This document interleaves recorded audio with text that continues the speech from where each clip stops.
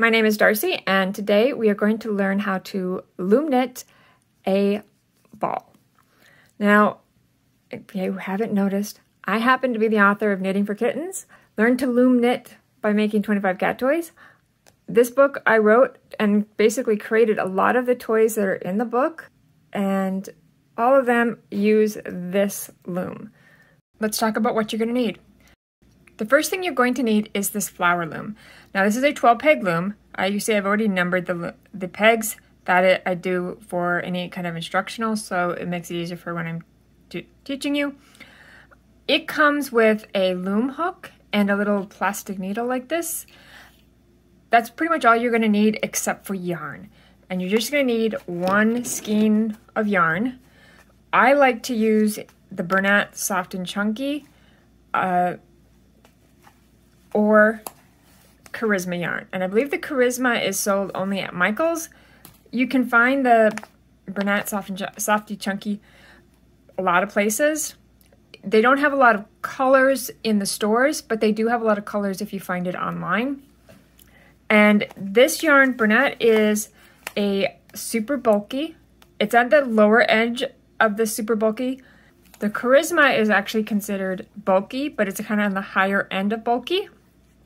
If you don't use one of these yarns, I recommend that you kind of make sure that the yarn that you get is thicker and very strong. Like literally pull as hard as you can on it to make sure it doesn't snap so that the yarn is strong enough.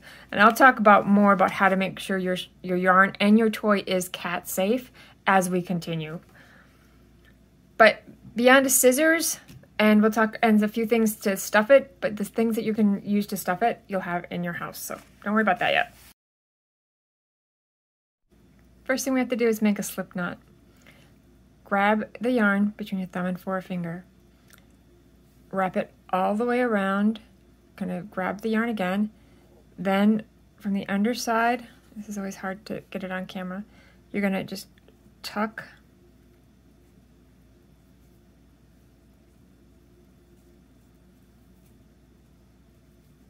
the yarn so you have a little, see how you have a little loop here?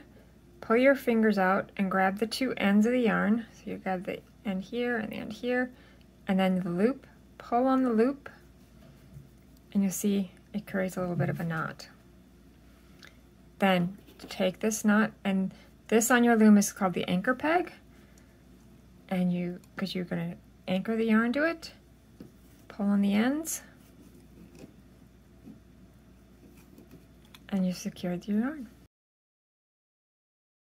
Okay, now we're going to do the drawstring cast on. This is a really quick and easy cast on to do. So grab the yarn in your in your hand and you're going to start by going up and around peg 1. So you run behind and then you go in front of peg 2 and then behind peg 3, in front of peg 4, behind peg 5, and you continue doing that going in front of the even pegs, behind the odd pegs, until you get to the end. Then you're going to go behind peg one a second time. Kind of with your fingers, kind of push this yarn down because you need to be have space above him, above this yarn, to do the next step. So now we're going to kind of just hold the yarn above the yarn, the first round of yarn, and then you're going to go from the bottom, kind of grab this yarn with your hook and loop it up over the and again so you see how I'm doing that just grabbing it from the and I loop it up over the peg. Continue doing that for the even ones the odd ones don't need to have that done. You only need to do it where you see the two strands of yarn as you're going around.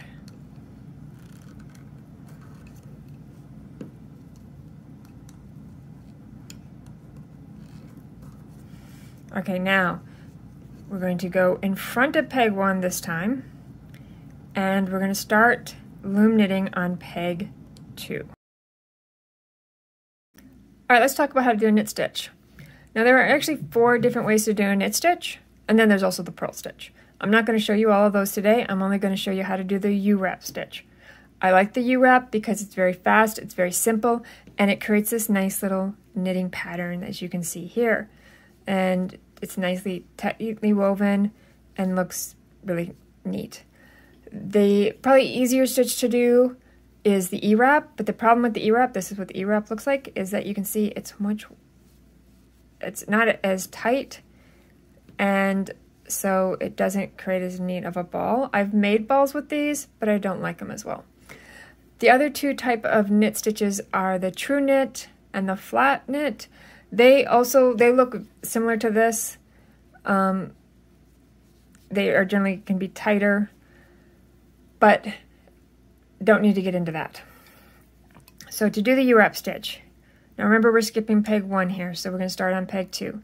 You're going to take your yarn and you're going to wrap it all the way around to and then behind and then kind of hold it against the first peg. Now you don't need to be really hold it tight. You need to like you just need to hold it snugly enough that this doesn't come off easy because you don't want to pull this off because then you you'll drop a stitch and you have to get it back on.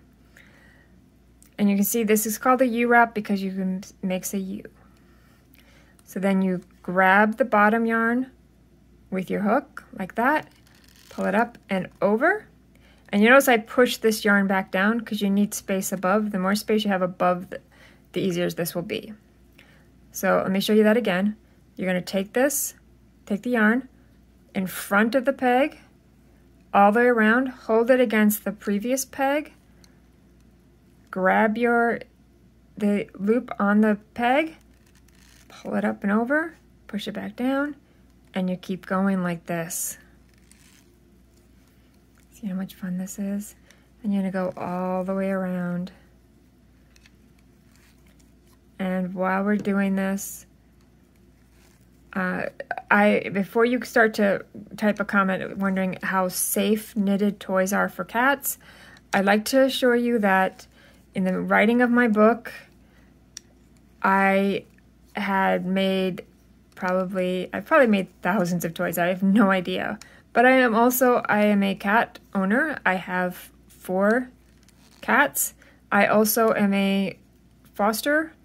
I foster cats. So I've had hundreds of cats and kittens through the past few years in my home. And they were kind of my test subjects.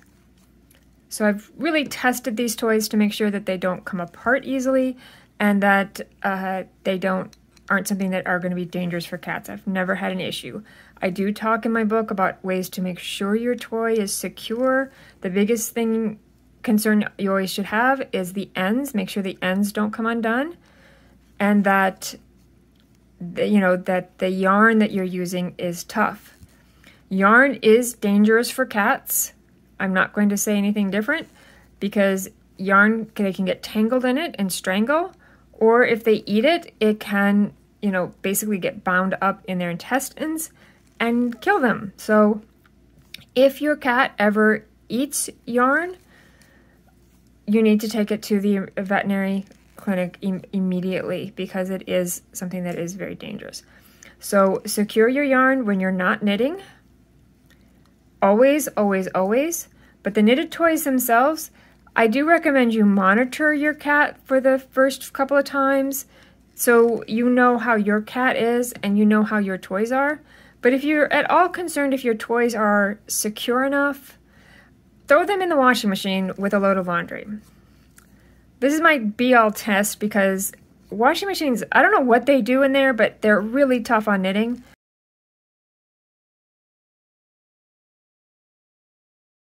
But I also recommend like, you can secure your knots that we make at the end with super glue as another way of securing them. Now once you've made a once you've made a few rounds, you can actually take this off your peg and then tuck it through. And we're gonna just keep knitting.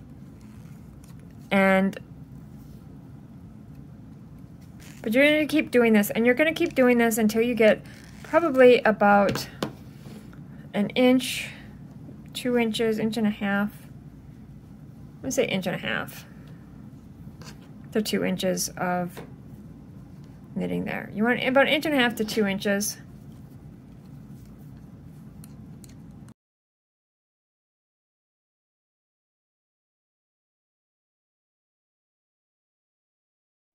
All right, once you get about an inch and a half to two inches of knitted ball, if you, it, sometimes hard to see, but you can just kind of see how long this is, you're ready to stop. This is about, this is actually probably larger than I normally make. This is about two inches and about the size you want it to be. You take your yarn, and you see I stopped on peg 12. It just, I do that out of habit. You take your yarn, you're going to wrap it all the way around once, and then uh, halfway, approximately, it doesn't have to be exact, and cut off your yarn. That's as much yarn as you're going to need for this next step.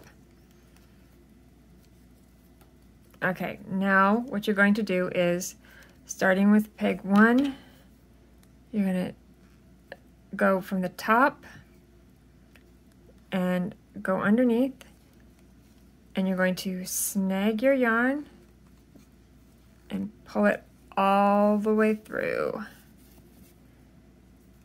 So again, you go ahead and from the top, go grab and pull it through. And you do this for every peg all the way around. And this is called the gathered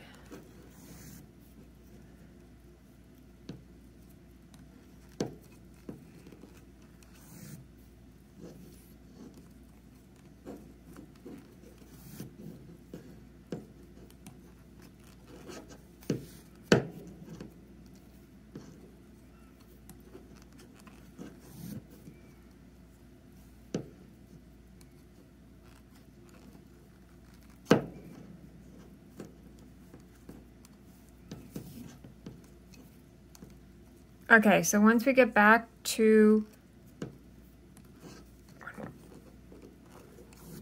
11, 12. Okay, so once you've done peg 12, you need to go ahead and do peg 1 again. Let me see, I got it all the way around. And you can now take this off your pegs.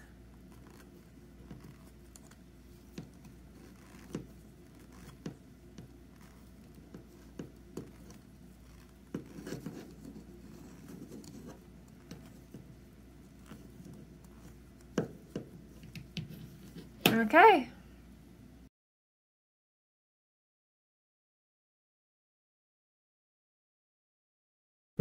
It's a good idea to just kind of pull your two ends, kind of, it just, it sets the stitches a little bit. You can kind of see which goes from that to like, see how like they're just kind of set. This does actually make it slightly larger than when it comes off. And you can then kind of pull it like this to just get the stitches to line up and kind of set into, into place. And we are now going to close the ends up. Okay, we're going to start by closing the beginning part, and you know it's the beginning because you still have your little slip knot here. And so what I'm going to do is I'm going to flip this ball inside out. And I do that because it's just easier to tie the knot and not have to tuck it in. Then, now you can close the ball just by pulling on this end, but I have found you get a neater end is if, okay, you figure out where the yarn is going through. So you know, you can see how this yarn is going around here. So now I'm to go grab one of these loops. See how uh, this yarn is looping? And this is part of why I like using the Bernat Softee Chunky because you the vari variation of the colors is very small. And so I can see one row from the next easier. So I'm going to grab this, just a couple of loops you know, from this end so I can start pulling it tight from this end. And then I'm going to grab another loop a few rows down and pull it. And then I'll grab a loop here, pull it,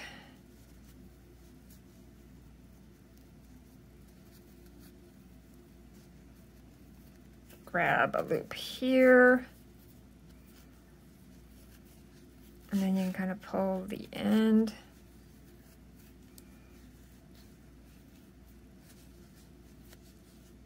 And you don't worry about there's like a little bit of space there.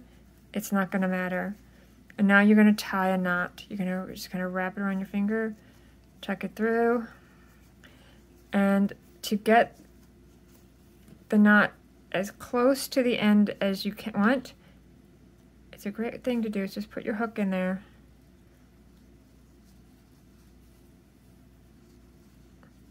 I do this on camera here. And then kind of, you can kind of use the hook to pull it tight and then just slip the hook off. So you don't tie it too far. But you're going to do this a couple of times. And if you have a little space like that, that's okay. It's not going to matter. You just tie a couple more knots.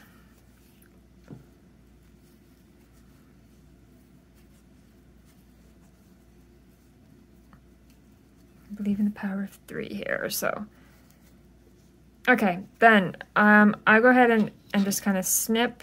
I snip it long so that I always have extra, so it just, that way that I feel like it doesn't come off as easy. It'd be harder for this not to come down. And then I just flip this out so you can kind of see how it looks.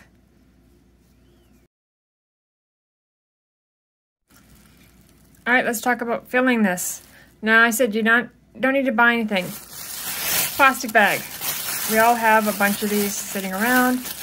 This is a really great material to use because it's still, you can put it in there. You can even add catnip if you want and then add your ball or add your plastic bag and your ball stays washable. Or you can use bits of cloth, like if you have some like scrap fabric or you have an old t-shirt you want to cut up an old pillowcase, you can use that. Do not use yarn because that can be come out and you don't want to be be dangerous. Or you can even get like polyfill. If you have an old pillow, cut it open. Take some of the polyfill out of there. Um, but you don't have to go purchase polyfill just for this. So take plastic bag. I will usually just kind of cut it into strips. To make it a little bit more easier to use. Just kind of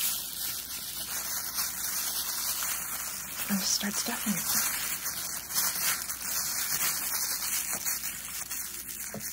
And then we're going to close this. You're, you're not going to be able to stuff it as much as you want until you close this a little bit. So again, I'm going to do the same thing. I'm going to kind of grab the, the loops from the other side and start pulling it.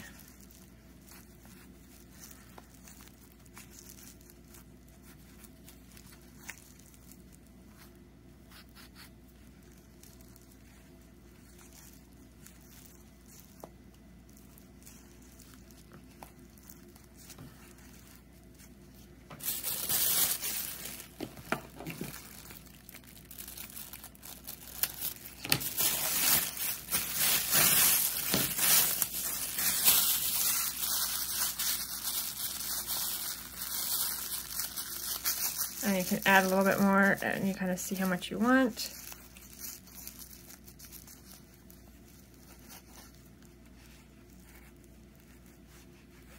Pull it tight. And now we're going to add, we're to knot it again.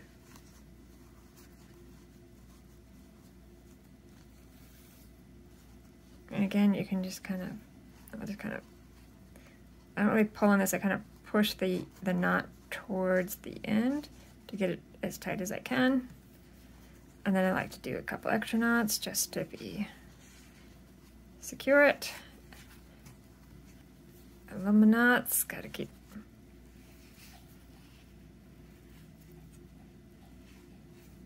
And the next one might be a little further down, but that's okay. I got my knot there. Pull it tight. All right. Then now you got to do at the end. So I will sometimes, depending on how I'm going to do this, you can um, I'll trim it shorter a little bit. Now you can take the needle that was included and thread the yarn, which can be tricky. As I said, it can be tricky to get this.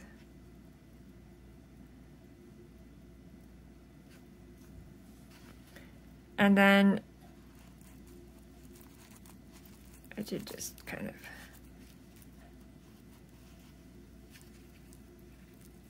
can be hard to like, poke it through like that. And then just pull on this. And then this other piece, just if there's any sticking out.